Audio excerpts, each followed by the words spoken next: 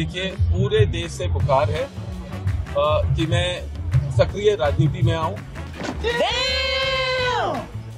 पर यह है क्योंकि मैं देश के लोगों के लिए हमेशा निकलता हूँ लोगों के बीच में रहता हूँ।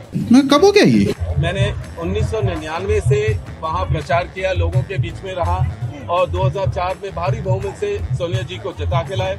अरे झूठ बोल रहा है! ये झूठ बोल रहा है! वहाँ के लोग हमेशा चाहते हैं कि मैं उनके साथ उनके क्षेत्र में आऊँ। चल झूठा। आप देख रहे हैं जो पहला फ़ेज़ था ज़रूर कांग्रेस के हित में गया है क्या? और सेकंड फ़ेज़ भी लोग बदलाव चाहते हैं और ये बदलाव का समय है। और वो देख रहे हैं राहुल और प्रियंका की जितनी मेहनत है वो उसको समझ रहे हैं और वो बदलाव है और वो गांधी परिवार के साथ है। कोई सेंस है इस बात की?